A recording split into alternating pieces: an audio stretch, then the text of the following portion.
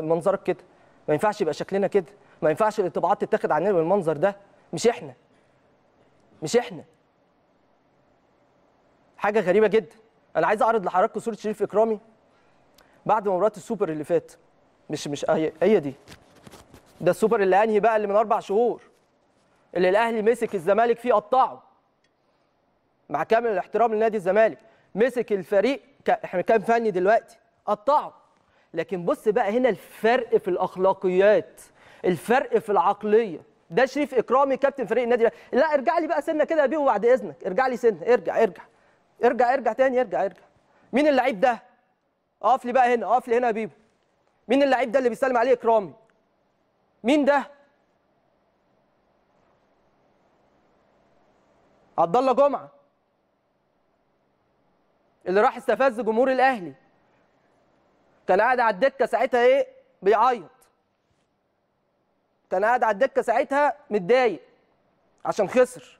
لكن فرق العقلية والثقافة هو اللي ظاهر في الصور اللي حضراتكم واللقطات اللي حضراتكم بتشوفوها. كابتن كبير قيمة كبيرة شريف إكرامي. راجل متربي. راح عدى بي- بيقول لهم يا جماعة بيواسيهم بيواسيهم ما تزعلوش. رياضة. فيها مكسب وخسارة. فيها فريق بيخرج كسبان وفريق بيخسر. فيها فريق بيبقى موفق وفريق غير موفق عادي. بيواسي اهو كل اللاعبين مصطفى محمد على كل اللعيبة أهي. كل اللعيبة اللي على الدكة بيواسيهم. هو ده الفرق حضراتكم.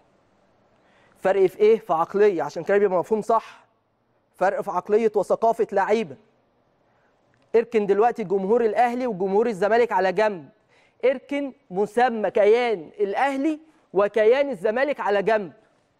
الاحترام والتقدير للجمهور والكيانين الجمهورين والكيانين. ده مين ده اللي إكرامي بيسلم عليه؟ مين ده؟ مش هو ده الراجل ال- اللعيب اللي هو فاكر إن دي شطارة؟ مش ده اللي قاعد يتنطط ويعمل حركات مسيئة؟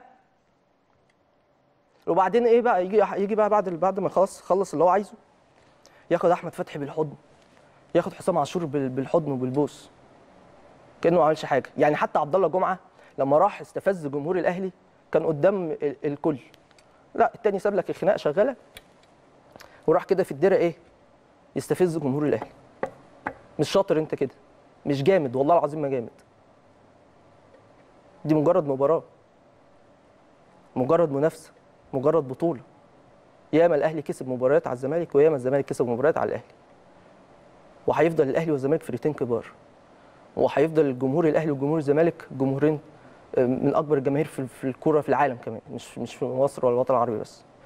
ومش هنسمح وهي رسالة لجمهور الأهلي ولجمهور الزمالك إن إحنا ما نسمحش لمثل هذه الثقافات أو العقليات إن هي تشحن الجماهير في إطار سعي الدولة لعودة الكورة بطبيعتها في مصر.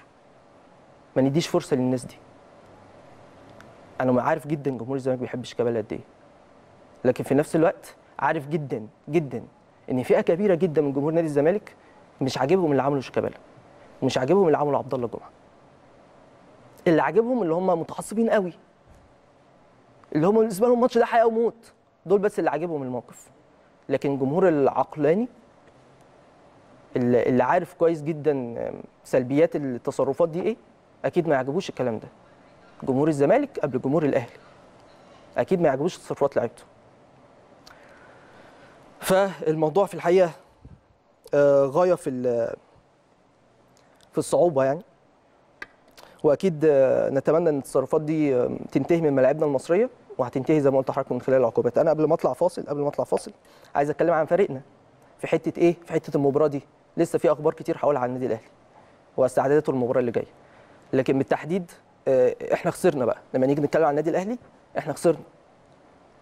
إحنا ما كناش موفقين. وعايز برضه أقول حاجة مهمة جدا.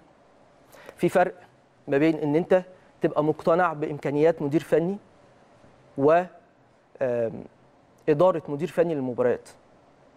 وفرق آخر بخصوص إيه؟ بخصوص إن هو ممكن ما يبقاش موفق.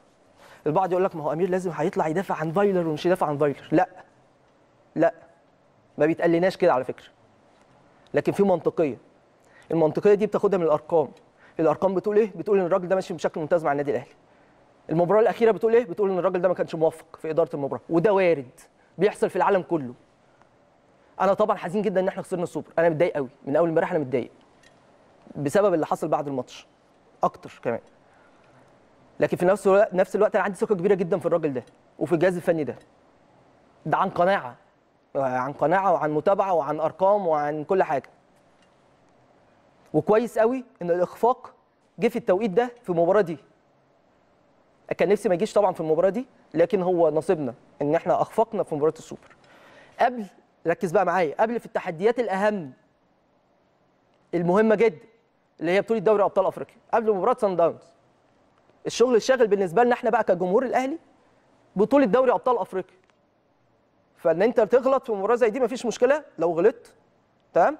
الأهم والرهان هنا على كيفية معالجة هذه الأخطاء وكيفية التصحيح فيما هو قادم وفيما هو أهم وأكثر أهمية من أي مباراة قبل كده. هنروح لفاصل بعد فاصل نرجع نكمل.